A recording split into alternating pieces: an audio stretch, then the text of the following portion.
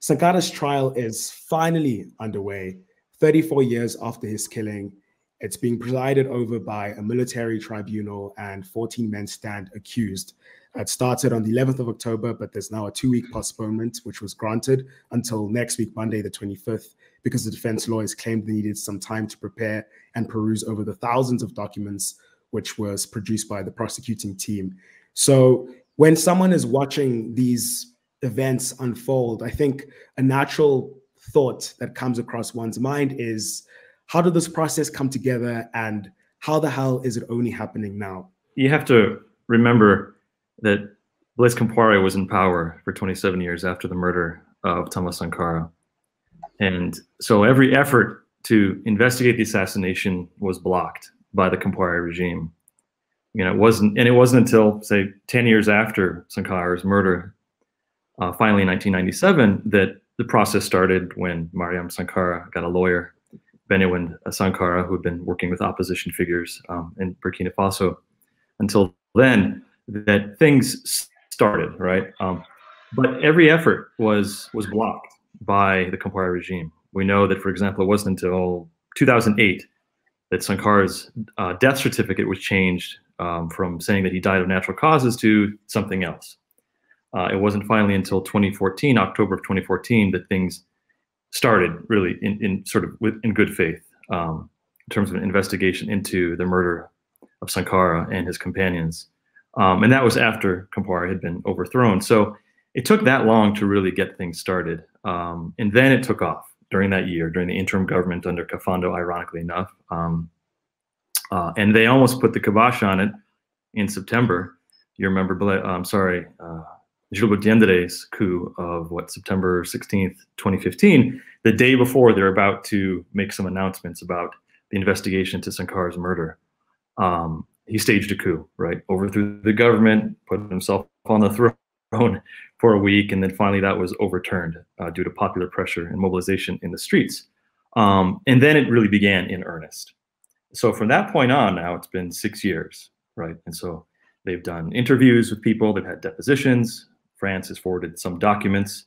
Um, and so now they've marshaled enough evidence um, under the leadership of um, uh, the judge, uh, Francois Yaméogo, uh, to finally have a trial, right, of these individuals. And like you said, there are 14 people, right, who are on trial. Uh, many of them were accomplices. Most of them were low-level, I would say, commandos, right, who were actually involved in the military components of the operation. Then you have people like Blaise Compaoré being tried in absentia as an accomplice to murder, threatening uh, state security, things of that nature. You have the doctor, Jean Diebre, who is being charged with falsifying a death certificate. Um, you have people like um, uh, Jean-Pierre Palm, who was the head of who's at the gendarmerie.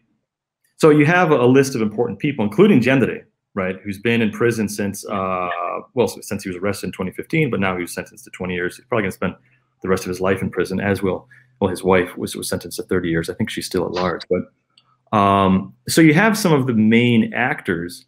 Blaise is going to escape justice for the most part. Many of the people who are implicated in are already dead or they fled or they were murdered. Um, France will not be touched, right? Any foreign powers that are involved in the assassination will not be brought to justice. Uh, that's a difficult thing to do. Um, but that's how I would just frame it initially as a sort of the, the, overview of the process from 19 from October 15th, 1987 to present. And it took it took place right on Blaise's watch, Blaise Compaoré's watch, continually stopping uh, the process from moving forward.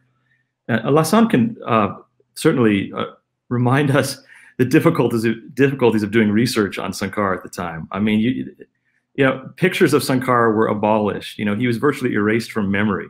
Uh, you couldn't talk about him. You know, I mean, so it, it was a, it was a, a reality where Sankara did not exist. He existed at the grassroots level in people's memories. So there was that living archive of Sankara alive in people's minds. But you know, you couldn't go to the market and find pictures of him or books or or audio cassettes of his speeches or things of that nature. That stuff was just abolished. It was banned, right? So slowly things opened up, but but for the most of that history, yeah, Sankara was erased from public culture. Absolutely. Over the times, um, to even see a public display of uh, Sankara, anything related to Sankara is just uh, something that you wouldn't see in Burkina Faso. And when you talk to people in private spheres, they are likely to open to talk to you about it, but um, in uh, um, in privacy, they will talk about it, um, but they will never accept to be quoted or um, said anything about it at all.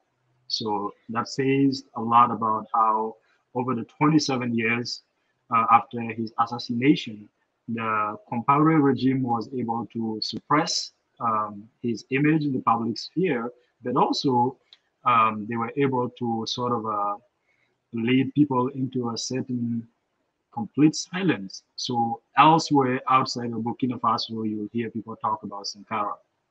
Um, but in Burkina, you will not hear, um, uh, with the exception of a few musicians who uh, would often quote his him in the lyrics, and those were not the popular guys. Those are people who were considered renegades.